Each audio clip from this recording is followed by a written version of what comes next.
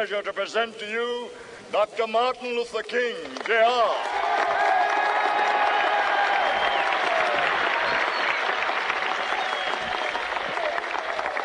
I am happy to join with you today in what will go down in history as the greatest demonstration for freedom in the history of our nation.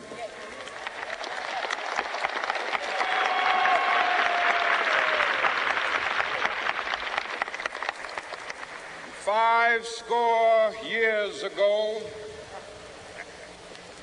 a great American in whose symbolic shadow we stand today signed the Emancipation Proclamation. This momentous decree came as a great beacon light of hope to millions of Negro slaves who had been seared in the flames of withering injustice. It came as a joyous daybreak to end the long night of their captivity. But 100 years later, the Negro still is not free. 100 years later, the life of the Negro is still sadly crippled by the manacles of segregation and the chains of discrimination. 100 years later, the Negro lives on a lonely island of poverty in the midst of a vast ocean of material prosperity. 100 years later,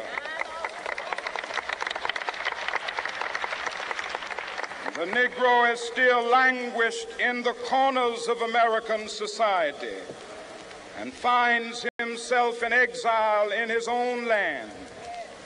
And so we've come here today to dramatize a shameful condition. In a sense, we've come to our nation's capital to cash a check. When the architects of our republic wrote the magnificent words of the Constitution and the Declaration of Independence, they were signing a promissory note to which every American was to fall heir. This note was a promise that all men, yes, black men as well as white men, would be guaranteed the unalienable rights of life, liberty, and the pursuit of happiness. It is obvious today that America has defaulted on this promissory note insofar as her citizens of color are concerned. Instead of honoring this sacred obligation, America has given the Negro people a bad check, a check which has come back marked insufficient funds.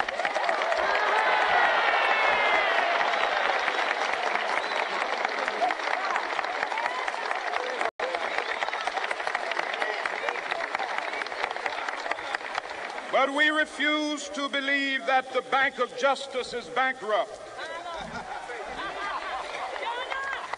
We refuse to believe that there are insufficient funds in the great vaults of opportunity of this nation. And so we've come to cash this check, a check that will give us upon demand the riches of freedom and the security of justice.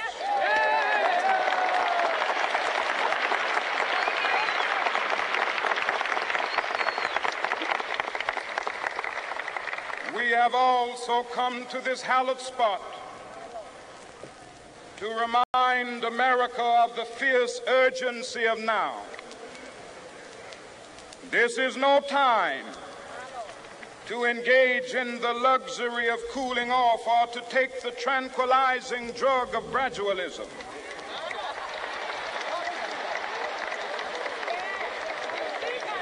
Now is the time to make real the promises of democracy. Now is the time to rise from the dark and desolate valley of segregation to the sunlit path of racial justice. Now is the time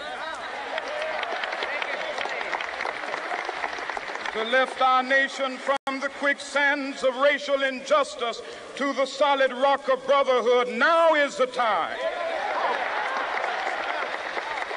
to make justice a reality for all of God's children. It would be fatal for the nation to overlook the urgency of the moment. This sweltering summit of the Negro's legitimate discontent will not pass until that is an invigorating autumn of freedom and equality. 1963 is not an end, but a beginning. Those who hope that the Negro needed to blow off steam and will now be content will have a rude awakening if the nation returns to business as usual.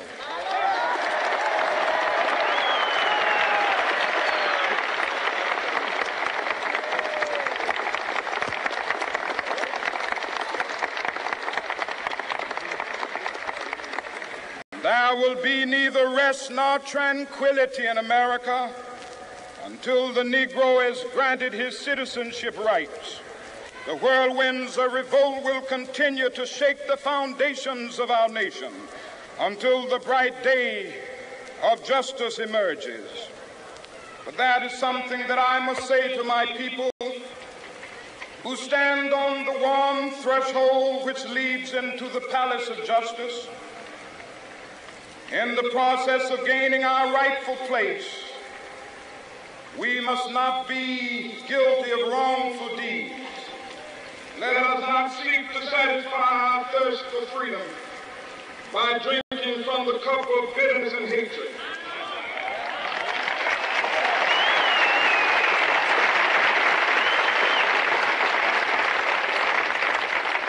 We must fail to conduct our struggle on the high plane and discipline.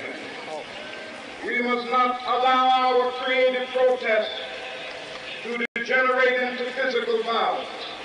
Again and again, we must rise to the majestic heights of meeting physical force with soul force. The marvelous new militancy which has engulfed the Negro community must not lead us to a distrust of all white people. For many of our white brothers, as evidenced by their presence here today, have come to realize that their destiny is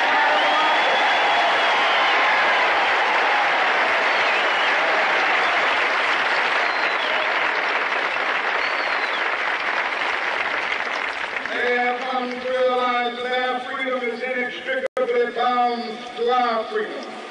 We cannot walk alone. As we walk, we must make the pledge that we shall always march ahead. We cannot turn back. There are those who are asking the devotees of civil rights, when will you be satisfied? We can never be satisfied as long as the Negro is the victim of the unspeakable horrors of police brutality. We can never be satisfied. As long as our body is heavy with the fatigue of travel, cannot gain lodging in the motels of the highways and the hotels of the city.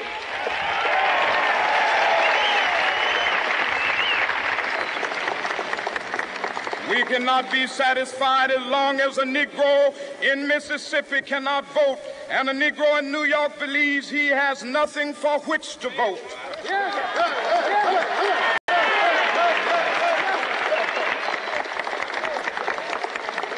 No, no, we are not satisfied, and we will not be satisfied until justice rolls down like waters and righteousness like a mighty stream.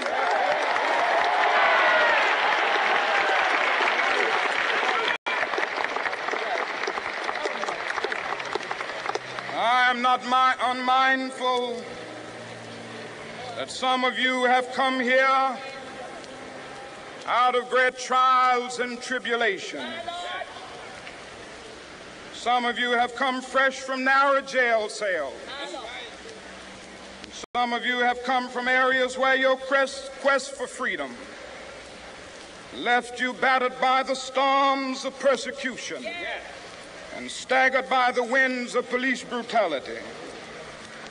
You have been the veterans of creative suffering. Continue to work with the faith that unearned suffering is redemptive. Go back to Mississippi. Go back to Alabama, go back to South Carolina, go back to Georgia, go back to Louisiana, go back to the slums and ghettos of our northern cities. Knowing that somehow this situation can and will be changed. Let us not wallow in the valley of despair. I say to you today, my friends,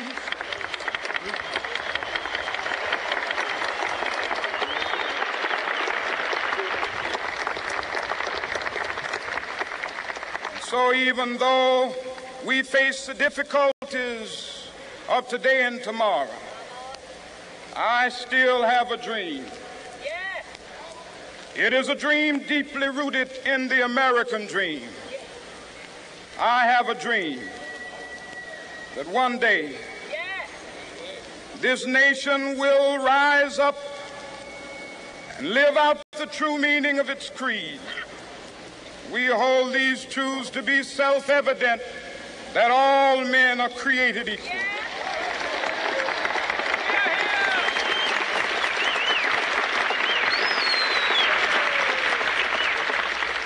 I have a dream that one day on the red hills of Georgia, the sons of former slaves and the sons of former slave owners will be, be able to sit down together at the table of brotherhood. I have a dream that one day, even the state of Mississippi, a state sweltering with the heat of injustice, sweltering with the heat of oppression, will be transformed into an oasis of freedom and justice. I have a dream that my four little children will one day live in a nation where they will not be judged by the color of their skin, but by the content of their character. I have a dream today.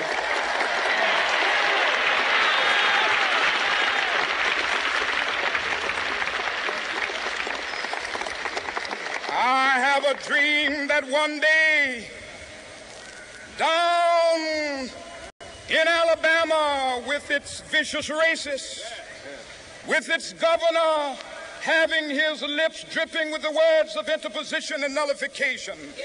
One day, right there in Alabama, little black boys and black girls will be able to join hands with little white boys and white girls as sisters and brothers. I have a dream today.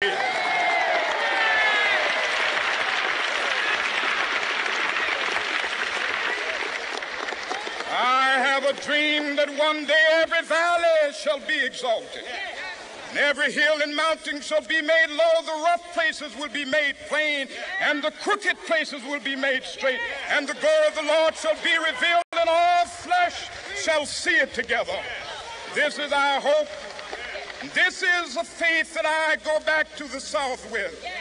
With this faith, we will be able to hew out of the mountain of despair a stone of hope. With this faith, we will be able to transform the jangling discords of our nation into a beautiful symphony of brotherhood. With this faith, we will be able to work together, to pray together, to struggle together, to go to jail together, to stand up for freedom together, knowing that we will be free one day. This will be the day this will be the day when all of God's children will be able to sing with new meaning, My country tears of thee. Sweet land of liberty of thee I sing. Land where my fathers died, land of the pilgrim's pride. From every mountainside, let freedom ring. And if America is to be a great nation, this must become true.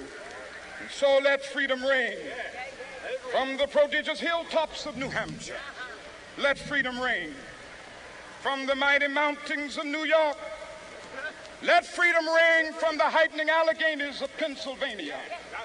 Let freedom ring from the snow-capped Rockies of Colorado. Let freedom ring from the curvaceous slopes of California. But not only that, let freedom ring from Stone Mountain of Georgia. Let freedom ring from Lookout Mountain of Tennessee. Let freedom ring from every hill and molehill of Mississippi, from every mountainside. Let freedom ring, and when this happens,